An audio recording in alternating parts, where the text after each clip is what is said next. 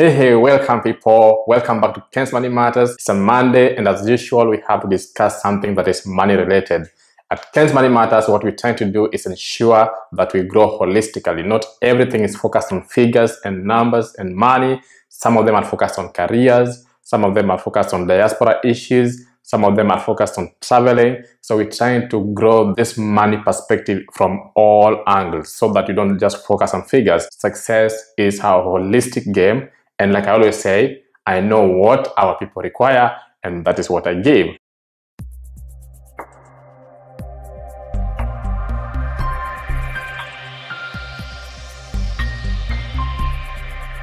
And that is why today we're going to talk about why I quit my job, how I did it, and what are some of the benefits. And this is meant to just show you that it's possible to quit your 9 to 5 job because I know a lot of people have so many ideas but they have not been able to effect those ideas and live their full potential because of the jobs they are doing. So if you are still fearful of taking some steps in your life and you're thinking, oh, what happens if I leave my job? Because we have been taught to worship our jobs. We have been taught that we have to stick by our jobs. So a brief history of uh, my life. Basically, I'm one person who was brought up with the job mentality. I cannot lie. I was not told about entrepreneurship as much. I was not all about, you know, coming up with flexible and original ideas that I could actually control and see into fruition. I was not taught so much about being independent and doing my own things. I was brought up in a system uh, whereby I had to think about jobs, I had to think about working for someone. And I think this one kind of derailed me because I believe I'm a very intelligent person. I believe I can come up with so many ideas, but somehow I was put in a box I was told, you know what, this is the path that should be followed. And because everyone around me that did the same thing, I did not actually think, you know what, there's another path that is actually much more uh, easier to follow and can give me a lot of success. And not only success in terms of money, even in terms of life fulfillment. And for me, that's the greatest thing. I realized at some point that no, I do not have to live within this box. Now, I have worked 9 to 5 for a while now since I finished campus. And uh, before that, before my campus years, I had some businesses which I did quite successfully. But because this is this was a trial, and I was doing it out of the fact that I had some extra time, and not because I wanted to do that in life. I did not give it so much attention. I did not give it so much uh, thought. I did not give it so much seriousness that it deserved. So I did not really do much in business, but I was just doing it as a part-time thing as I waited for my nine to five job. So when I got my nine to five, first of all in Kenya, it worked out well, it was a good job, was well paying job, but you know what? I was not fulfilled. I was doing a really good job, I was a cabin crew, but I didn't feel some fulfillment. Something was lacking in me. So I realized, you know what? First of all, I had gone to school and performed really well. And I had done uh, political science and international relations, which is completely different from what I was doing at the time.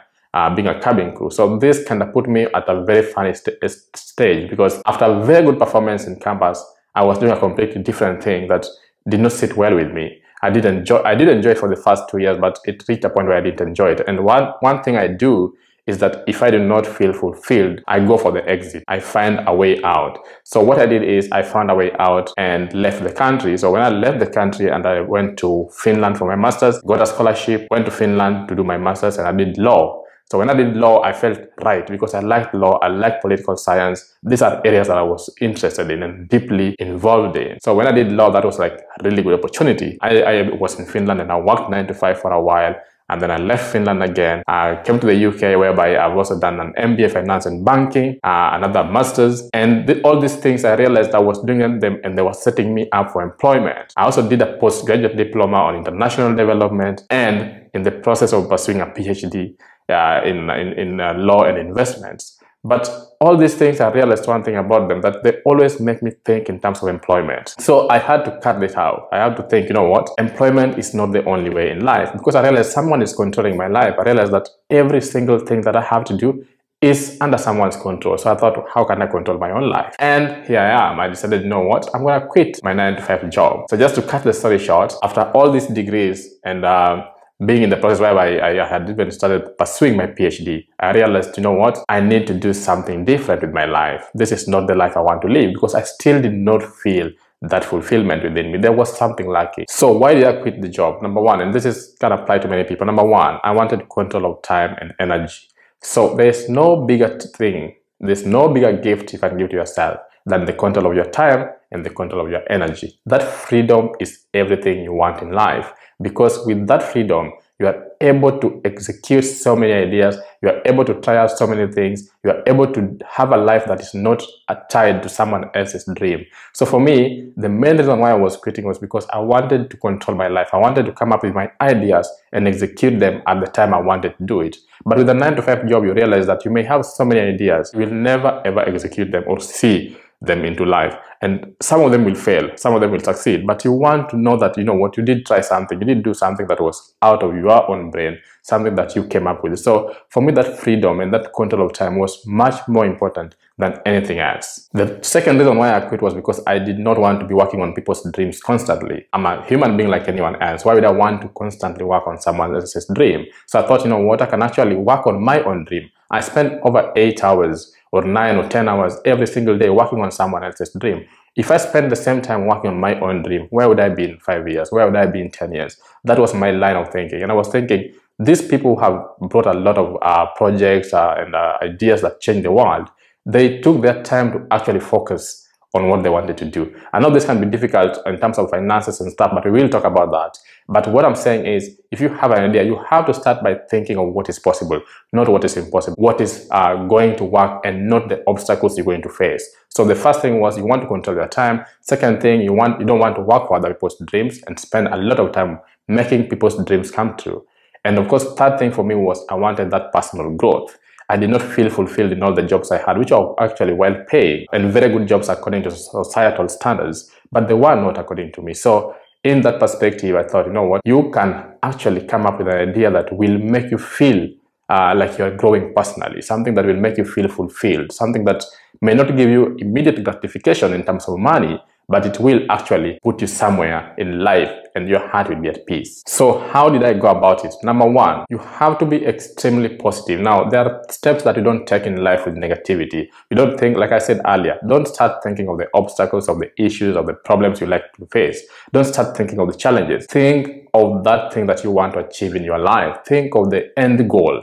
Think of the opportunity of being an employer to some other people. Think of the opportunity of changing people's lives through your own idea. So from the beginning, you have to be very positive. For me, that's extremely important because everything comes from the mind first. The mindset has to be right first before you take this leap. Look at the end goal, manifest it, sit in it, and feel it. If it gives you satisfaction, it, if it gives you happiness, then that is where you should be. So the first step is have that mindset that will uh, spur your growth into whatever you want to do. Number two is just take that leap. Uh, most of the time people find this to be radical, but personally I'm not the kind of person who does things slowly and, and, and want to see the results. No, most of the time just take the leap and see the results. You also have to take the leap when you have the idea ready, of course. So take that leap because most of the time you're worried about finances, money, or how will I pay my bills. Of course, as a finance coach, I will have told you that if you are working, you have an emergency fund. If you are working, you have some savings. If you're working, you definitely have some investments. If you don't, then in that case, then that's a different situation. I always advise that you have some emergency fund somewhere, which most people actually do have, but they still do not want to take that leap. I know sometimes it's not about the money. Sometimes it's about the security that you have from a job. Jobs give us some false sense of security. That security is not there for sure. Because what happened during Corona? What happens when you don't do your job well? What happens when people have to be uh, laid off? What happens if the company goes down. So there's no security. It's just a false sense of security that has been taught to us in the society, but there's no security in having a job. People want to make you feel that it's secure. I don't find the security. There are some jobs that are more secure than others, but at the end of the day, if you're working for someone, I don't see any security. Anything in this world can go down anytime. But if, if it is your own idea, if it goes down, you just come up with a new idea. You have to think outside the box. It forces you to think. So I always say take that leap of faith. But of course, you have to have some basic setup, like I said, uh, from a, a, financial perspective, but then be ready to take that leap and be ready that things will be a bit different. Your life may actually not be as perfect as it was when you were in that job, but it will be much, much better when things get to the level you want them to get to. Another way of how you can go about quitting the job, you can have a side hustle. Side hustles do help. You can start making some money on the side, and therefore, when you quit your nine to five, you can still be able to offset some bills, and you also have your emergency fund. So that way, again, this one helps those who are very fearful of taking that leap. So if you do not want to take that leap immediately, and you feel like uh, you don't have any buffer, start having a side hustle uh, constantly and consistently. And when it starts making you some little money, don't wait for it to be very good and successful. Start getting out of nine to five job. Trust you me, it will be worth it. The, the control, the flexibility, and the success will always be worth it. Fourth way in which you can go about it, always remember this. If you're in a negative situation, if you're in a job that you don't like, that you don't feel fulfilled, you can never ever find something positive. You can never manifest something positive. You can never start something positive. What do I mean? I mean that most people always say, oh, you know, I'm on this job, but I'm trying to find another one. 10 years going, 20 years going, they're still trying to find another job. What happens these days? You are in a negative situation. It is affecting you mentally, physically, emotionally, and psychologically. But you want to make that leap and go into a positive situation um, looking at the laws of the universe, it can't work like that. It won't work successfully for you. So what do you do? That's why I'm saying you take the leap. So for me, it's important that, you know what, I'm in a negative situation and I'm looking for something positive. It won't really come to fruition. What you need to do is be in a positive mindset and then start working on your ideas or trying to get another job. So for those who still want to work. So in that sense, I always say, how do you do it? Make sure that you leave that negative situation you are in. Even if it means getting another job that you feel comfortable with for a period of time before you go out of nine to five, then do that. But don't be in a negative situation and you're planning for those positive moments. That moment never comes. And another way in which you can go about it, develop some skills. So even if you're doing that job, make sure you develop some skills. Make sure you, you have identified that skill. Most of us do have skills, but because of our education system, those skills are not focused on. But as individuals, we do have some skills. There's something you're passionate about. There's something you can provide, a product, a service, whatever it is. So make sure you develop a skill. If this can be a one skill, two skills, doesn't matter but a skill around something that you love doing, something that you want to uh, to develop. So if you can have that skill ready for you, it will help you inspire you in your growth when you get out of nine to five. You know that most people don't even care about certificates anymore. Uh, most people don't even care about those PhDs and, and, and masters. People like us who have more than one masters, it doesn't really matter.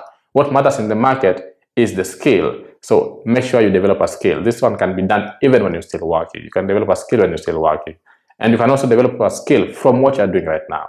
So that skill can help you do, other side hustles, like I said. It can also help you freelance and makes more money as you quit and set up your own thing. Those are some of the ways in which you can go about quitting your job. But I said the best one and the most idealistic one is take that uh, leap of faith when you have your skills and your idea ready and get it going. So what are some of the benefits that I've experienced personally from quitting 9 to 5? Number one is the flexibility. Like I said, freedom to control your time and energy is the biggest thing you can ever find from quitting your job. So that freedom is something nobody will ever give you. That's number one. Number two, it gives you the flexibility to try out ideas because we have a lot of potential within us that we never get to exploit. That that freedom will always that flexibility and freedom will give you that opportunity to exploit those ideas within you. And i don't say that the first idea will succeed. No. One number one may succeed but it may also fail. If it fails you know what? Because of the flexibility you get the chance to do something else. But most of the time because we are put in this kind of box we don't try out things. We don't have the opportunity to. We don't have the time to. We don't have the energy to. We don't have the flexibility to. So that flexibility to try out different ideas and know actually who you are is very important. Number three, it gives you an opportunity to get into yourself and know who you are. Sometimes we stay in jobs for so long that we even forget who we are as a people. So you become part of the job. You become associated with the job. Your brain, your mental capacity, uh, your view of life is from that particular job. So that's why some people stay in jobs for like 17, 18 years. They look at the life from the perspective of their jobs. And when they're talking to other people, they talk to them from that perspective of that single job because that has become their life. So for me, it's about finding yourself, knowing who you are, and getting deep, deep into your personality and getting that fulfillment out of life. Final point is that skills development. You have the opportunity to develop skills that can help you forever and ever. These are skills uh, that can be passed down to generations and generations. You can teach your children. Basically, you can develop something that will serve your family for a lifetime. When you develop certain skills in life, you pass them down for life. So yeah, that's what I think. I think that 9 to 5 can be an interesting thing. Of course, some people are okay with it. You can go through with it. But if you're not happy where you are, like most people are not, then this is one way or a path in which you can follow to get what you want. It's an encouragement and it's also my story of how I went about it. So personally, I have gone through with it. So far, I'm thriving. I have the opportunity to do the things I've always wanted to do. I have the opportunity to try things out. I've had the opportunity to just be me and just do what I think is right for my heart and for my soul. If it doesn't sit well with my heart or my soul, I don't do it. For me, the control, the freedom, uh, the flexibility is not worth any money. And this is what you'll feel. You'll feel so relaxed, so easy, and you'll feel different. So guys, I know it's a long video, but this is one of those videos that we have to make to ensure that we encourage our people to pursue their dreams. Thank you and subscribe. Let me know your thoughts in the comment section.